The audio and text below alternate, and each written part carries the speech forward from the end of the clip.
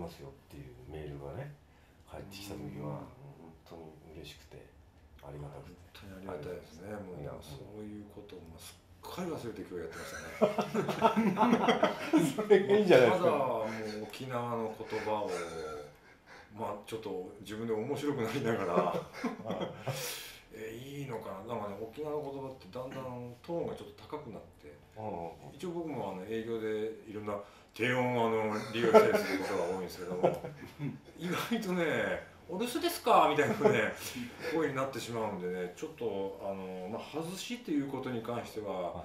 多分間違ってはいないと思うんですけどもあのすいませんこの大事なシーンですよねもう最後の本当にそこにあの心構えとしては割とあの緩い気持ちで来てしまいましたいやいやいやもう、あのプロデューサーの意向とどのぐらい違いが開きがあるかはちょっとわからないですけども。でもあの本当に僕はこのシナリオを読んだ時から本当にこんなね最後に出てきて本当申し訳ないなと思うんですけども。あの映画ってねやっぱりいい作品に出るそれはもうワンシーンでもいいから出してくれって役者さんの手をいっぱいあげるじゃないですか。でそういう人たちがこのもうあのキャスト表に並んでるんであこういう人たちの中に僕もあの参加できてよかったなと思うしやっぱりこういう作品だからこそ参加したいって手を挙げた人があのやっぱりいっぱいいるんだなっていう。やっぱそれが力ですよね。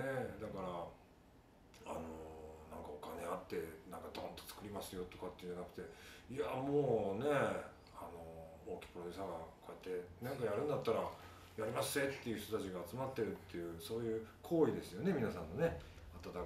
そうですよ。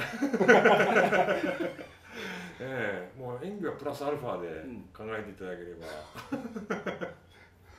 まあでも本当まあ、うんありがたかったですねいやもう本当にお呼びいただいて、ええ あのせめて一泊して沖縄で美味しいもの食べたかったなと思ってそれはしょうがないですけども、ぜひあのね。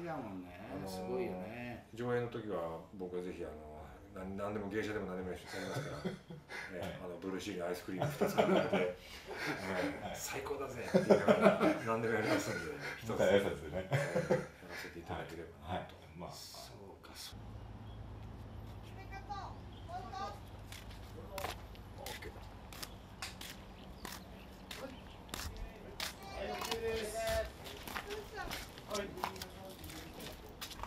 は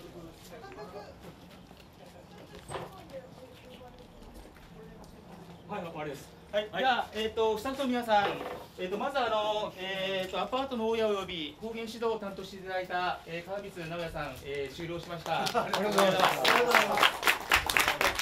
えー、そして、えー、豊さん、今の方をもちまして、全編終了です。すいませんね、なんか、もうちょこっとだけですみません。こんなもんまでいただいて。今度ゆっくりとまた、ええあの苦労させてください、僕にも。ぜひ、ありがとうございました。ありがとうございました。ありがとうございました。どうも。これから明日、え楽しい泡盛飲んでください。僕は東京に帰ります。ありがとうございました。ありがとうございました。お疲れ様でした。ありが